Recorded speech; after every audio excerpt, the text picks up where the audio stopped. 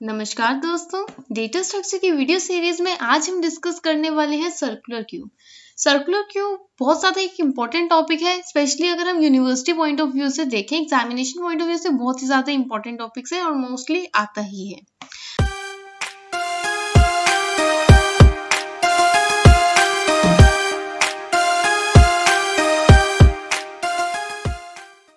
सबसे पहले देखते हैं जब हमारे पास क्यू में हमने लीनियर क्यू पढ़ ही चुके हैं तो उसके क्या डिसएडवांटेज है जिस वजह से हमें सर्कुलर क्यू को इंट्रोड्यूस कराना पड़ा। तो हमने अपने लास्ट वीडियो में भी यही देखा कि जब हम एलिमेंट्स को डिलीट करना स्टार्ट करते थे तो हम फाइनली डिलीट करते करते एक ऐसे सिचुएशन पर आ गए थे, जब हमारे पास सिर्फ़ एक एलिमेंट था। अब मेरे को डिलीशन ऑपरेशन तो नहीं करना बट मेरे पास और सारे वेकेंट पोजीशंस पड़े हैं। अब मैं इंसर्शन करना चाहती हूँ, सिर्फ़ एक एलिमेंट है that is at the maximum position that is at N तो अब अगर मैं इसमें इंसर्शन करना चाहती हूँ तो ये मेरे को ओवरफ्लो कंडीशन दे रहा है और ये मेरे को इंसर्ट नहीं करने दे रहा। ओवरफ्लो कंडीशन क्यों आ रही है? मेरा रियर क्या है? That is max size four के इक्वल अब अगर मेरे को कोई इंसर्ट करना है तो पहले मैं रियर को इंक्रीमेंट करती थी और उसके बाद मैं उसको इंसर्ट करती थी। लेकिन इस केस में मैं इंक्रीमेंट कर ही नहीं पा रही, क्योंकि अगर मैं इंक्रीमेंट करूँगी तो मैक्स साइज़ से बड़ा हो जाएगा और वो मेरे को नहीं करने दे रहा। तो अब ये तो चलो चार ही हमारे पास एलिमेंट्स है तो थ्री एलिमेंट्स मेरे की पोजीशन मेरे पास वेस्ट जा रही है। लेकिन अगर मैं इसी कोई थाउज़ेंड एलिमेंट्स की बात करूँ तो क्या होता है उस केस में? 999 एलिमेंट्स की पोजीशन जो है मेरे पास, वो तो वेस्ट चले जाएँगे। अब मैं वहाँ पर ना कुछ इंसर्ट कर सकती तो उसका फ़ायदा क्या हो रहा है? तो इस ड्रॉबैक की वजह से हमने सर्कुलर क्यू को इंट्रोड्यूस करा था। तो आइए देखते हैं कि सर्कुलर क्यू होता क्या है। तो आइए दोस्तों शुरू करते हैं। सबसे पहले ये तो सर्कुलर क्यू एग्जैक्टली है क्या? इसमें क्या होता है, हम अपने फ़र्स्ट एलिमेंट और लास्ट एलिमेंट्स को ज्वाइन करा देते हैं। वो कैसे? हमारे पास एक क्यू गिवन है, जिसमें हमारे पास ज़ीरो से सेवन तक चल रहा है। दैट मीन्स इसका साइज़ क्या है? एट तो अब हमने क्या देखा? हमारा जीरोथ और सेवेंथ इन दोनों को हमने ज्वाइन करा रखा है। मतलब ये मेरी सिंपल अगर क्यू बनाती है तो उसको लास्ट पोजीशन को फ़र्स्ट के साथ हम ज्वाइन करा देंगे। अभी थोड़ा सा आगे देखते हैं थोड़ा थोड़ा कर कर आपको समझ आना स्टार्ट हो जाएगा। तो सबसे पहले इसमें हम अपनी ओवरफ्लो कंडीशंस को स्टडी कर लेते हैं कि इसमें, इस केस में हमारे पास क्या क्या ओवरफ्लो कंडीशंस होंगी। तो हमारे पास इस, यहाँ पर दो केस होते हैं जिसको हम एग्ज़ाम्पल से समझते हैं। The very first case is when front equals to one and rear equals to N इसका क्या मतलब है? अभी हमारे पास सिंगल जो लीनियर क्यू होती थी, उसमें क्या होता था? अगर सारे एलिमेंट्स भर जाए तो हम सिंपल कह देते थे कि हमारा, अगर रियर एन के इक्वल है तो हमारी ओवरफ्लो कंडीशन है। लेकिन अगर मेरा इसमें रियर भर चुका है मीन्स रियर पोजीशन पर कोई है फोर्थ पोजीशन पर कोई एलिमेंट है बट उस केस में मैं आगे रियर को इंक्रीमेंट करती थी तो मैं वापस नहीं आ सकती थी, चाहे ये वेकेंट भी क्यों ना हो। बट इस केस में हम ज्वाइन करते हैं लास्ट एलिमेंट को और फ़र्स्ट एलिमेंट को। दैट मीन्स अगर मेरे यहाँ पर पोजीशन मेरे को इंसर्ट करना है और यहाँ पर पोजीशन वेकेंट थी तो फिर मैं यहाँ पर इंसर्ट कर पा रही थी। तो इस वजह से हमें यहाँ पर कंडीशन क्या देनी पड़ेगी कि फ्रंट भी वन है, कि वन से लेकर एन तक, या इस कंडीशन में अगर बोलें तो ज़ीरो से लेकर साइज़ माइनस वन तक हमारे सारे एलिमेंट्स एग्जिस्ट करने चाहिए। हर एक पोजिशन पर कुछ ना कुछ वैल्यू होनी चाहिए। ये तो कॉमन था, ये तो हम लास्ट वीडियो में भी देख ही चुके थे। तो नेक्स्ट कंडीशन देखते हैं दैट इज़ ऐसा भी तो हो सकता है कहीं रैंडमली कहीं से स्टार्ट करें से थर्टी से मैंने स्टार्ट किया था इंसर्ट करना। थर्टी पर हो गया फोर्टी पर हो गया, उसके बाद उसने टेन कर दिया ट्वेंटी कर दिया। अब ये भी मेरी ओवरफ्लो कंडीशन आ गई है इस सिचुएशन में। तो यहाँ पर क्या है, हमारा फ्रंट क्या हो जाएगा? रियर प्लस वन मतलब मेरे पास दो ओवरफ्लो कंडीशंस आएँगी, या तो मेरी लिस्ट पूरी भरी हुई स्टार्टिंग से लेकर एंडिंग तक मतलब फ्रंट वन है और रियर एन है, या फिर मेरे कहीं बीच में से मैंने भरने स्टार्ट करें तो जहाँ भी फ्रंट था, वो हमेशा रियर के प्लस वन हो जाए, अगर एक ज़्यादा हो जाए रियर से दैट मीन्स तब भी मेरी लिस्ट कंप्लीटली फुल है। तो आइए इसका पिक्टोरियल डायग्राम से समझते हैं कि इसमें हम इंसर्शन और डिलीशन किस तरह से करेंगे। तो सबसे पहले हमने एक एम क्यू ली? उसमें हमने कंसीडर कर लिया कि हमने कोई ऑपरेशन परफॉर्म कर रखे थे, जिस वजह से मेरा फ़िलहाल फ्रंट और रियर दोनों थ्री पर है। दैट मीन सिर्फ़ एक ही एलिमेंट है दैट इज़ टेन अब मुझे नेक्स्ट एलिमेंट इंसर्ट करना है से ट्वेंटी तो मुझे क्या करना पड़ेगा? सिंपली रियर को इंक्रीमेंट करूँगी और उस पर इंसर्ट करा दूँगी, जैसे हम लीनियर क्यू में भी करते थे। अब मेरे को नेक्स्ट एलिमेंट इंसर्ट कराना है से थर्टी अब मुझे क्या करना है?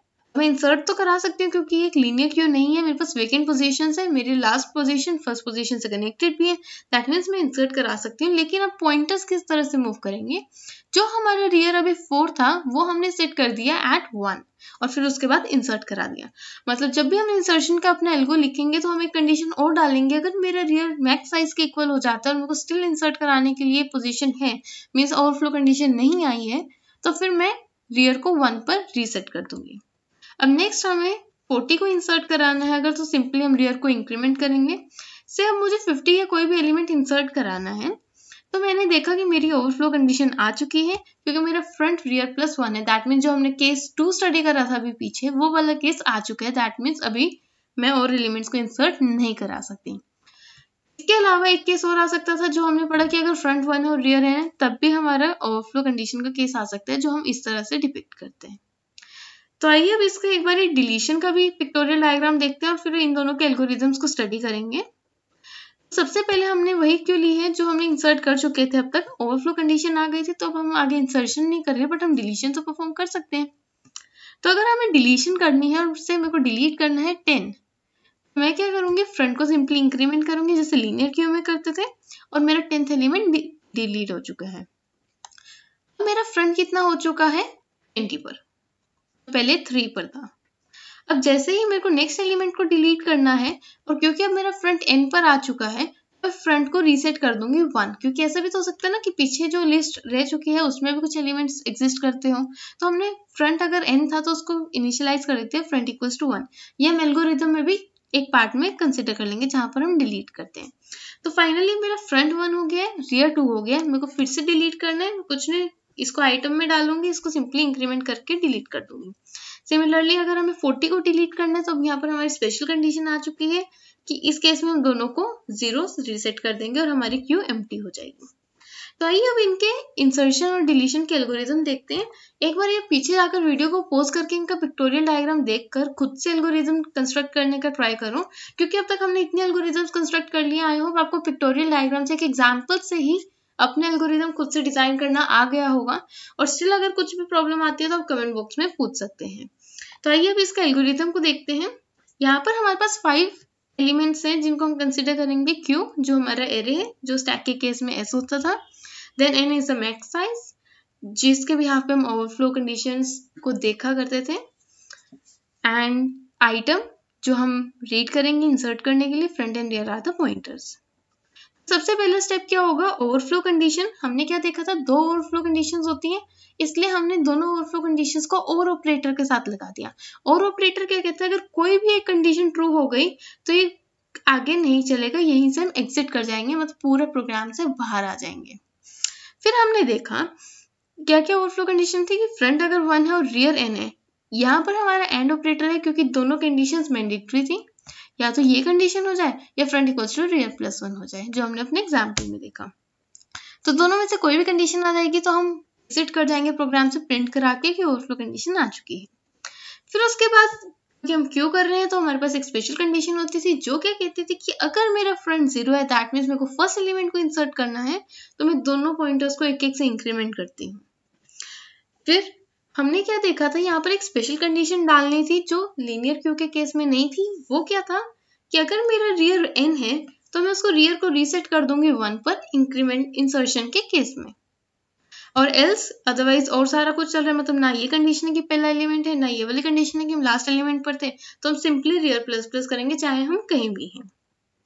फिर उसके बाद फाइनली हमारे पास वो पोजीशन खाली हो गई है और हमने वहाँ पर इंसर्ट कर दिया and this was all about our insertion algorithm तो सबसे पहले ओवरफ्लो कंडीशन चेक करें, जो यहाँ पर इस केस में दो है। उसके बाद हमने नॉर्मल अपनी स्पेशल कंडीशन चेक करी। फिर एक हमारी कंडीशन आई जो सर्कुलर क्यू की थी सिर्फ़, और रियर प्लस प्लस ये जनरली होता ही था एंड देन इंसर्शन ये बहुत इंपॉर्टेंट टॉपिक है यूनिवर्सिटी पॉइंट ऑफ़ व्यू से तो फिर इसको यूनिवर्सिटी एग्जामिनेशन के लिए अगर आप स्टडी कर रहे हो तो इसको थोड़ा अच्छे से करना।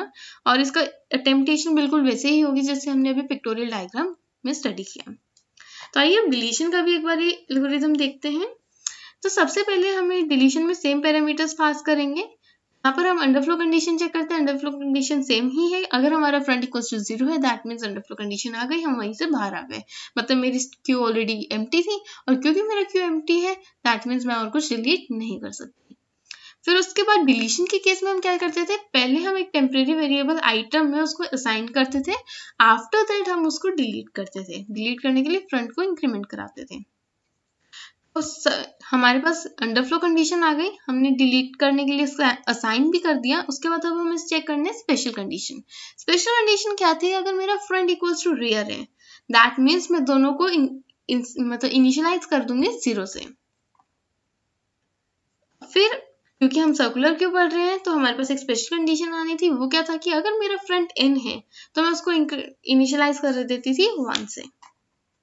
And finally, front plus plus and exit. So, this was all about circular queue. I hope आपको ये वीडियो लेक्चर पसंद आया होगा. अगर आपको कोई भी डाउट या सजेशन है तो आप कमेंट बॉक्स में ज़रूर दीजिएगा. और अगर आपने वीडियो को अब तक लाइक या शेयर नहीं किया है तो जल्दी से वीडियो को लाइक और ज़्यादा से ज़्यादा शेयर करें. And please subscribe my channel and press the bell icons for latest updates शुक्रिया, धन्यवाद. Thank you